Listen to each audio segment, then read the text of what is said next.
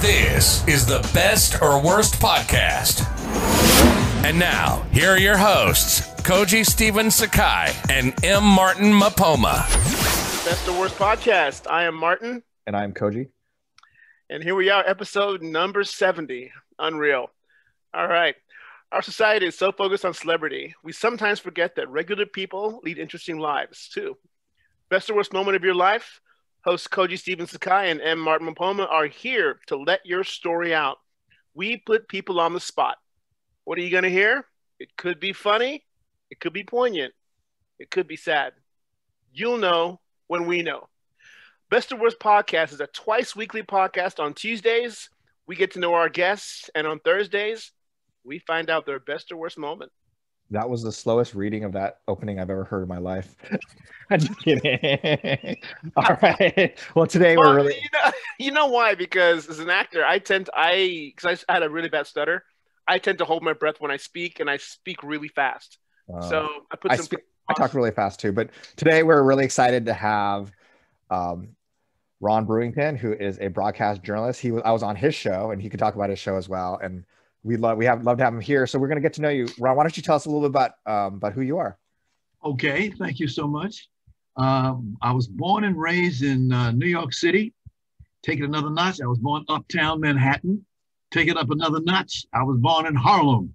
Oh, I meet a lot of people who were born in Harlem, and they say, "I say, where you from? Uh, uh, New York." They ask me, "Where you from?" I'm my mother, you know but they don't want to pick with Howard. I don't know why. But uh, had a great time being born there. I had a great mother. We grew up without a father. My mother was my father and my mother. She did a great job. She had. I have a twin brother, Rudolph. He. We both do the same things basically in life. Uh, but when I came out of high school in 1964, I got a birthday coming up here. Um, in a couple more days, I'll be 74. Wow. Um, we uh, were born and raised there and had a great time. So I joined the Navy. Uh, he came out of I came out of a school called Aviation High School. Uh, I was taught to be a mechanic. Uh, today, these days, I can't do anything mechanical. But back then, I had to. It was a good job. We used to wear a uniform, and we had a good time doing what we were doing. It was a lovely thing. I really enjoyed it. Went in the Navy. They assigned me to a, uh, a duty station over at Floyd Bennett Field in Brooklyn. So I had to go from Harlem over to Brooklyn and meet. I was in the Navy Reserve, and I wear my uniform once a week. Uh, I'm sorry, once a month and twice in the summer. Had a great time. Met a lot of people. Was assigned to a VP 831, a patrol unit flying the P2 aircraft. Had a great time. Oh wow! Stayed wow. in the Navy for a period of about uh, almost 22 years. Wow! I had a great time in the Navy. Uh, uh, you want me to get into great detail about my Navy? I just. I want to hear it. I want to hear. That's whatever, amazing. whatever you like. I mean, well, I would love to hear also how you got into journalism from from the Navy. Okay, the first 12 years that I was in the Navy, my job was that I used to teach people how to fly airplanes. Uh, The Navy and the Department of Defense, when they teach people to uh, use aircraft that belong to the public, they send them to ground school first, where they learn everything they can be from Bernoulli on back and all up, whatever. Uh, then they get a chance to go into a simulator. And that's where they met me. I used to operate simulators. And then after we had gotten them and honed them to the skill level that we wanted to, we then put them in a real plane. So that way they stand a chance of at least uh, living longer instead of exploding or crashing a plane. Uh, that was a good time that I really had. And my last duty station doing that kind of work was at Naval Air Station Corpus Christi, Texas. While I was down there, I met a lady who became my wife. I had children while I was there, a child while I was there. Uh, but I also had a chance to uh, uh, change my job over there. I made it to chief petty officer, which is a good, pretty good rank. Um, and later I made senior chief petty officer, but that's another story. Uh, what I what I did was uh, I asked to change my job skill. I was, you know, it wasn't the same anymore for some odd reason, and I became, if you ready for this, a journalist. Wow. Okay. Journalist is one of the ratings or job specialties that you have in the Navy there are about 80 some different job specialties for enlisted people. Uh, so my see, one day I'm a chief TD or Tradevman, and the next day I'm a chief JO or journalist. So I had to be transferred. They sent me to a little place called Adak, Alaska. Oh wow! Are you familiar with the Aleutian Islands? Yeah. Yes. That makes that little bow like that. Well, uh, uh, Adak is right in the center of that. Here we are, on this little tiny island uh, uh with about no, I estimate about 500 people out there with me, maybe a little bit more but we had a great time out there. Uh, it was in the middle of nowhere. It was cold. They had the eagles out there. They had huge talons. They could you could go out there and go fishing. You Yeah, you better when you're fishing, you're looking like this because you want to make sure they don't come and get you and, and your fish too. Wow. What were you fishing for? Salmon? Uh, salmon, yeah, salmon used to run. Uh, other fish that was up there. He used to take and take as I was cheap, I'd catch my salmon and I'd take it up to my room and I'd cook it. I had a stove and all that good stuff like that, so I could cook it. But it was a wow. really nice duty station. But I had a situation that happened where I ran into uh, when I first got there. There was a similar chief petty officer, male. He had been there for two years, two or three years, and since because he had his family with him, I was single. I didn't have my family with me. I was there for one year, and I remember specifically that uh, for whatever reason, I, I, I can speculate for what they really were. Uh, they sent this lady uh, ensign to be my boss. Yeah, I was chief petty officer in charge of, of this uh, uh, broadcasting facility. Uh, I had about 30 people working for me. We had 24 hour day radio, AM and FM, and we had about 12 hours of television, 18 hours of television. That rest of the time they're using for maintenance. And all of a sudden, this lady shows up out of nowhere and uh, she was a young ensign. And uh, ensigns don't really know that much. They, been, they might be officers, but they really don't know that much. They have to check in with the senior guys like us. You know, we tell them what to do, how to do it. Anyway, make a long story short, her and I had problems. She walked in the room one day and told everybody that uh, if, if, you want to see her, uh, you had to come straight directly to her. I said, no, uh, ensign, it don't work that way. I said, we have a little thing called the chain of command in the Navy. Martin, were you ever in the military? Me, I was not. Okay. We had a chain of command. Uh, Coach, you were you have in the military? I, I, was not in the military. Oh, okay. Uh, anyway, I wish I had been. I hate, I hate, uh, particularly now that I'm retired and I get a check every day for the rest of my life. A nice anyway, I don't want to piss you guys off, you know. Anyway, uh, we uh, she told them told them I said no, I pulled to say, Ensign, there's something that's in the Navy, among other things that came that happened in the Navy long before you came in and it's going to be there long after you gone. It's called a chain of command. Nobody goes directly from their level to your level without coming through me. Oh no, no, no, no, ensign. It don't work that way. Sorry, I'm an ensign. I said, I don't care what you are. You don't do it that way.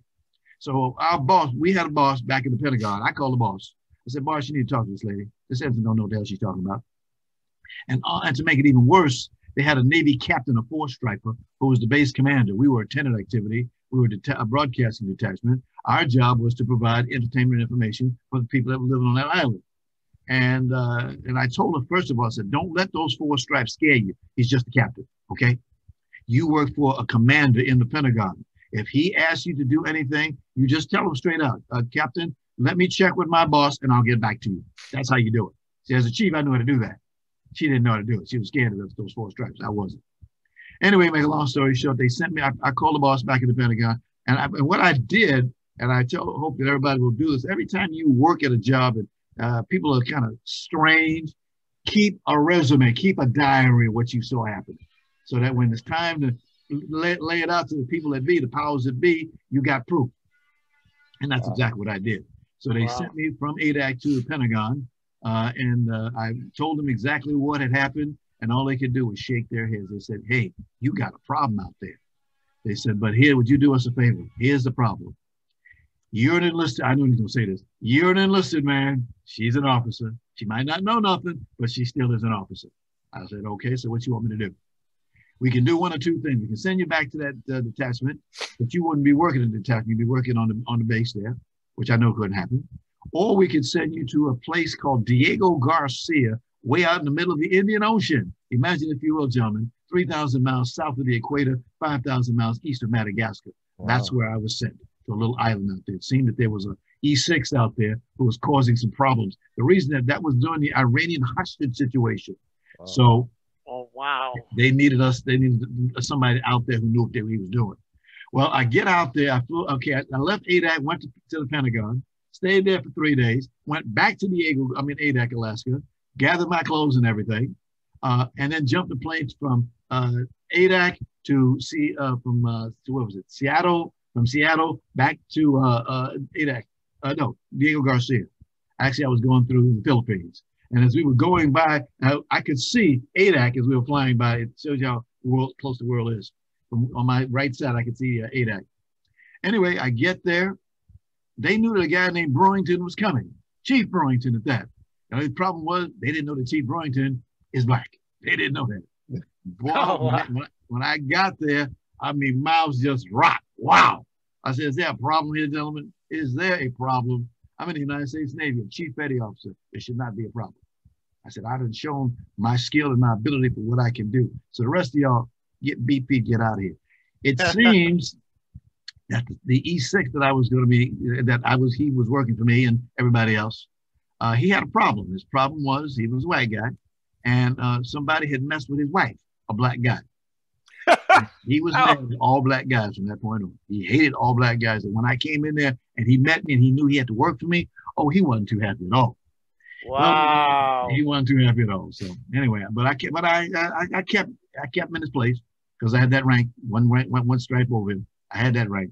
Anyway, when I was out there, Diego Garcia, the first day I was there, the first night, uh, I was in. We had an office building where we. I had an office in the building where we worked out of, and uh, that's where we had our big studios and all the transmission and satellites and all the stuff like that.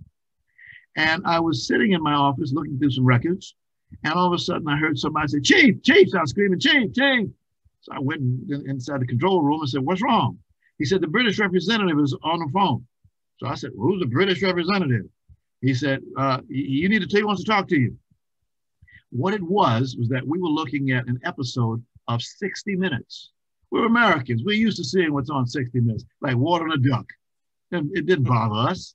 What Yeah. it was, there was a, te- a television show about a neo-Nazi group in London, and they were thinking that it would be a race riot there on Diego Garcia, and people saw it. What? Where'd y'all get that from? so I, I said, well, I told him this Brit rep, I didn't know who he was. He said, I want to see you in my office first thing tomorrow morning. I said, okay, I'll take your license. Then we don't have a license to take. We, we are military journalism and broadcasters. We don't have licenses. So anyway, I went. So immediately after I hung the phone up, I went try to find the base commander, American base commander, uh, captain, Navy captain. Couldn't find him, so I found his, his, his second in command, the executive officer. Told him who I was. He said, "Yes, Chief, we were expecting you, and uh, glad to have you here." And I told him what had happened. He said, "What?" After I finished talking to him, I sent off a flash message back to the Pentagon, letting them know what had happened there. Uh, you always do that, uh, and let them know that I wasn't too good for them. They didn't like that at all. They detailed a lieutenant to come down there later and investigate what had happened. Uh, and so the next day, when I uh, oh by the way, that night he told me to turn off the, that take that show off the TV. So I had to make a decision. Do I listen to a person who I don't know who they are, what rank they are, didn't really care, but didn't know who they were, uh, or should I do what he said? We can deal with that later. Well, I did the latter, and I, I told him, man, put up a sign, technical difficulties, and we'll put something else up. And we did it that way. I'll see you in my office tomorrow morning. Yes, you'll see me in your office tomorrow morning. So I got there. When I walked in the door, and guess what he saw? Stunned. Stunned. What? What? What? Doesn't matter. We're in the Wow. Navy. And uh, we later became good friends. I showed him and told him what, what had happened, and he agreed. And what we did was from that day on, uh, anytime any uh, of the material came into through us through Armed Forces Radio and Television Service, we would check it out to make sure it didn't cause, it wasn't sensitive and didn't cause any problems. If it did, we couldn't show it on the island. And see, we didn't have those rules and regulations before. We had them now. So that was really a fun thing. Him and I became real good friends. What I would do is if I knew that a, a, a show was coming in and might be a little sensitive, I'd call over to the chow hall and have some coffee and, and, and crumpets sent over to my office. And we had a chair set up there for him so he could sit down and watch the movie. And if it didn't piss him off, we could we could look at it. So but it worked out. Everything worked out okay.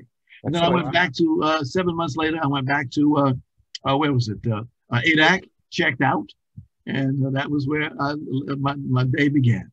Really had a great time. Well, Wow. quick, well, quick question about the uh, your role as a broadcaster in the military or in the um, in the military. What is what is the what's the point? Like, you know, what is your message you're trying to you're trying to get across? Is it entertainment? Is it something else? Yes. Or Uh, again, to inform the uh, since you're sitting on these locations, you, the military broadcasting is not allowed in the United States because you've got journalists and, and ABC, CBS, things like that. Yeah. Uh, they're only authorized in non-overseas duty places, like Diego Garcia, like Adak, Alaska, where you got American troops there, and you want to bring a little taste of America to them. You Oh, bring Oh, it's and interesting. then what happens is that the industry provides you with music, all the latest American music, all the latest TV shows, latest news, everything. You sanitize it, get rid of all the ads out of it, the television news, and you put it out over your over wire, and, and everybody sees it. So it's it's there for a good purpose. Keep their morale up, definitely. Okay. It's funny because it's interesting um, because my wife's family, they're all Navy. Um, uh, her brother was in the Navy, and her father, uh, who passed away a few years back, he was um, he's Filipino. Okay. He, he uh, reached the highest rank of, of, of a Filipino officer at the time before he passed away, and he has some great stories about the Navy as well. Yes. As did my as did my brother-in-law. It was it was pretty cool. So that's Have awesome. you ever been to the Philippines, Martin? You know what? Uh, I want to go. Um, Michelle, my, my wife's uh, cousins want to take me, and I keep being told if you're going to go to the Philippines, you better go with your wife because you can't go on your own. You'll never come back. That's right. Beautiful women, some of the most beautiful yeah, women in the world. yes, they are. It's it's you know a friend once so a friend once said to me that uh, Filipino women are like the Swiss Army knife of minorities. They have all the good parts. Right. You know how to use them too. Terrible. and they also are great cooks. Those ladies Yeah, over there, some yeah. great cooks. I Yeah. remember when I was in Diego Garcia, every about four or five months, they would take us off the island. I should mention the island looked like a V. Uh, it was just uh, it was an old- it was a place that there's a lot of history on that island. Uh, you could see where the slaves from Portugal and other countries were there. Uh, they used to make uh, copra and other things like that. It was one of those possessions of a foreign country back in the 1800s, and it was still there. It was Wow. still there. It was still there. Anyway, but those are, we would go on what we call I and I to the Philippines. That's Yeah. right. You guys familiar with that? that Cody, you familiar with that one? I and I. I've never heard of it. What does that mean? Intercourse and intoxication. Intoxication. You met a lot. I met, but one thing about them ladies, let me say this about those ladies. Those ladies, if you hooked up with one lady, that was it. You didn't. Oh, oh yeah. oh yeah. You didn't go from that. You didn't run around. You, I'll take that. I'll take no, no, no, no, no, no. They do not. play. They do Uh-uh. not play. Even Uh-uh. now, they do not play. They they- demand respect, and they Yep, they sure do. get oh man, that's so true. So after you left the military, you you decided to start uh, in journalism. Where did you Where did you first start to do some journalism? And and you teach as well. So Right. Uh, well, like I did, I, I learned in the Navy. Uh, I was a journalist. I went to school there, and I had worked. Uh, and before I went to Diego Garcia uh, and Adak, I had worked at the, at the Navy base there, the Naval Air Station in Corpus Christi, Texas. I was a journalist. We used to write newspapers, uh, conduct tours, do all kind of different uh, public relations and public affairs duties, and that's where I learned how to be a journalist. I learned how to write. Here I'm an E7, but I knew how to write. And it was a lot of fun. I really enjoyed the job that journalists did all around the world. And my specialty was broadcasting because when I was in um, uh, uh, Corpus Christi, I worked at a television station there, an NBC affiliate as a reporter. I also worked uh, at, at two radio stations there. One was a top 40 DJ show. Uh, there's a guy named Greg Mack. You might have heard of him. He started this hip hop. Yeah. Yeah. He replaced me. So I, that's how when I left the radio station in Corpus, he came in after me. Um, sure. and then I worked at another radio station uh, where they allowed me a chance to uh, do all the PSAs, uh, announce PSAs, public service announcements, out cue it. Another community message from your friends at XFM. That's all I have to say. Wow, that's Uh, pretty good. a lot of fun. Thank you. Just- I call it. I, the, when you hear me speaking, and I say this to anybody, and I mean it sincerely, I look up and I thank the man upstairs. When I look at it as a gift that God gave me to be able Yeah. to enunciate, pronunciate, and talk with Yeah. training, uh, and you gave me a gift, and I use it as much as I can. I do narration for plays. I do all kind of different things. I use that that talent that God gave me. And I thank You you. do a lot of you do a lot of voiceover work as well. Uh, I've done some. Oh yeah, I do voiceover work. Yeah, I bet yeah, I have a lot of fun. that's very cool. But I worked at, I worked as a journalist, and that's how I got my skill. I, later, I went to college and got my bachelor's, my bachelor's degree in broadcast journalism, and then I got a master's in communications. But I got all of this information, you know, what in, in- time, in time in your life. Sure. I remember, like I said, going back to all those days in Harlem, uh, I can remember why I joined the Navy because my mother, uh, when we got to, when we got to be a certain age, she told us uh, either you get your stuff together or you leave. And uh, we said, Mom, I hate to do this to you, but I got to go. Especially when she caught me in the house with a little girl. Uh, she said, Get out of my house. I said, Yes, ma'am. Gotta get out of my house. That's That's all those, you know, everybody got stories, you know. Yeah, of course. Oh. Well, Ron, uh, why don't you tell us a little bit about the show that you that you guys that you do? And- Okay. and let's fast forward uh, back. uh, Let's see, this is 2020. Go back five years in 2015, um, thereabouts. I started a program called the Actor's Choice. Uh, it was just an idea. Everything starts with an idea. It's one of my favorite four-letter words. I love that word because it is what it is. Everything, anything that we have do or do is because we had an idea. And my idea was to have this program, which would be exclusively anyone who are actors, actresses, people in the theater, grips, gaffers, uh, if you did soundtracks, even get a, a few of those I get in every now and then. Directors, anything. It's about that. Uh, we have done, uh, as of today, uh, we're looking at our 220th Wow. program. That's crazy. Uh, Wow. I should say. So we've been very, very blessed. I get a chance to meet people like OG. Yeah. Uh, and, and Martin, I hear you an actor. I am. I love theater too. Okay. We'll, yeah, we'll be I- talking to you. Yep. Yeah, you're talking to me. I, I uh, you know, I, Yes. I lived in Chicago for uh, eight years Ooh. and worked at the Goodman, uh, the Organic Touchstone Theater, a few others. Seen some great plays. I love theater. Theater's great. I, I didn't. I have not done any since I've been out here. Is that right? Yeah, it's very different out here.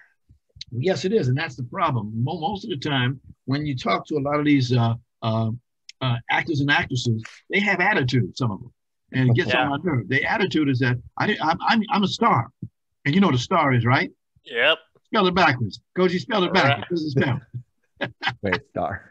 You know, Rats. Yeah, Rats. rats spell Oh, there you backwards. Right. Come on, G. and sometimes some of the people they just don't you know they, they want to be on television they want to be on the screen big screen but you say a stage uh-uh not me i don't get up on that stage not Yeah, it's, me re- yeah, it's a real shame because theater is a, is, a, is is an amazing art. yes it is It really, really is. I uh, yeah, I enjoyed it when I did it. It was something else. You know.